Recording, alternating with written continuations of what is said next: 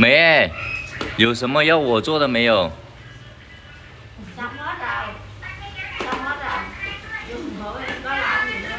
马上没有了就完了你去睡觉。哦去睡觉是吧？现在在我越南丈母娘家里面在越南女孩子很多做饭的时候呢都不要男孩子插手的。嗯这个是我老婆这个是我丈母娘这个是我三妹。走。打个招呼。他们现在在做晚饭哦，等下给大家看一下，在我丈母娘家里面今天晚上吃什么啊？丈母娘平时的爱好就喜欢种花草，这一次过来看到她种了一些丝瓜，看一下丈母娘要不要在院子里面种菜，到时候帮她整一些种子，这看起来很舒服啊。越南过年的时候就往门口摆放这个菊花，可能是迎接新春的意思吧。每家每户都会买很多。年前的时候，他们就大量的种植这个，带大家看一下新春的装饰。他们要把摊位摆放的特别的漂亮。看一下这个果盘，各种水果，西瓜上面有福字，可能他们很多都不知道中文的意思。百合。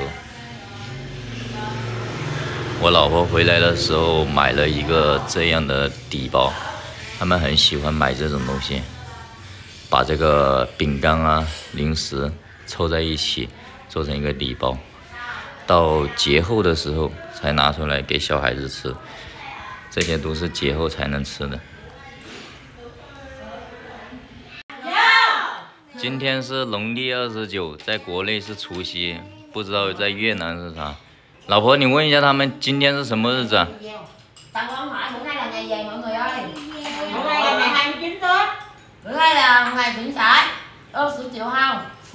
没没有算节日吗？没有。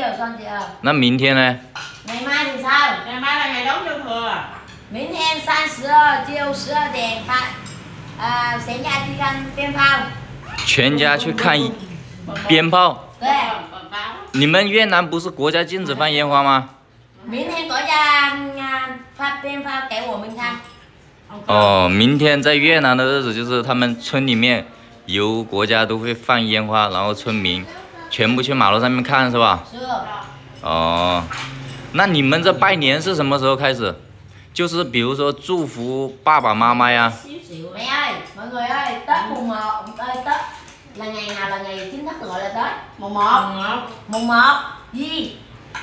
我们是初一一号请长辈拜年给小孩红包。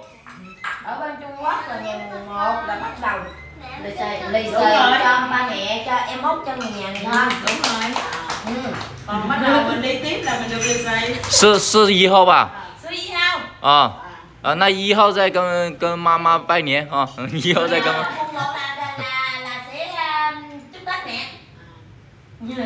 来吃饭吃饭吃饭。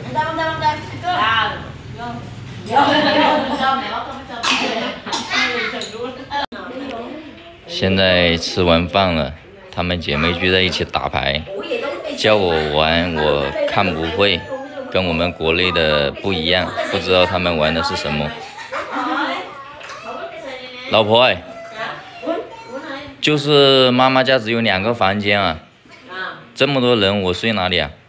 我们睡那个房间，妈妈睡那个房间，那他们怎么睡呢？他们那睡地上，为什么这样啊？因为我是老大的。在越南还有这样的，呃，是啊，就老大才可以睡卧室，嗯，其他弟弟妹妹要听老大的。我操.带你们去看一下，这个是我妹夫，就睡在这个床垫上面。然后这个是我紫霞、紫英，睡在这个卧室。这边这个卧室就是丈母娘，一个人睡在床上已经睡着了。这个就是越南普通家庭的生活，一般的家庭都是建两个房间，当然也有少数的就是有钱人的家庭才有很多房间。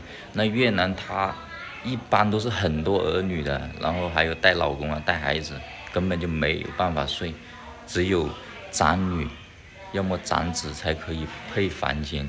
所以你们，呃，要交越南女朋友也好，要。一定要先问他你在家里面排行 第几，我今天才知道这个事情啊。要说他们穷吧，也说不出那个味道。他们吃的很简单，住的也很简单，但是他们很喜欢戴这个黄金首饰。看一下我妹妹哈 ，Ling，呃，这个，啊，刚才包邮点。18 triệu 18 triệu ờ, cái này à, 19 triệu 19 triệu ờ, cái này như 12 triệu 12 triệu cái này cái này 5 triệu 5 triệu 全身加起来差不多两万的黄金，两万人民币的黄金。呃，看一下我老婆， 你这个多少？嗯，百米九。百米九，嗯，也将也也是两万人民币。我这个三妹，我来看一下。三妹。三妹。三妹。走。呃，你你这些多少钱？钱。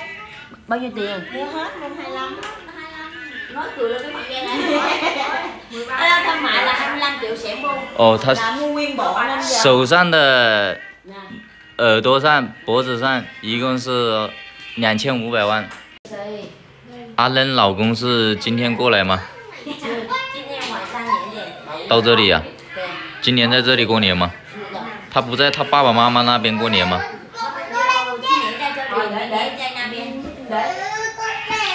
就越南嫁出去没有一定规定要在公公婆婆家过年啊？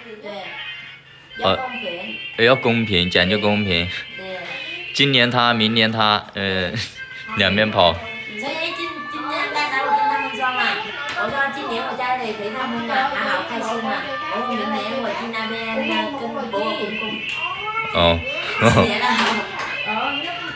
等下凌晨两点，二妹的老公就到这里了。今年也在这里过年。越南生活给我的感觉就是随随便便，没有那么多规矩。如果放在国内的话，丈母娘安排你睡地上的话，那就代表着看不起，那马上就得提桶跑路了，是吧？呃，所以在越南生活就是尊重越南的人文吧，不要去计较那么多的东西，那样会生活的很累。今天就把这些他们这里的习俗分享给大家，一些生活方面。今天的视频就分享到这里了，再见。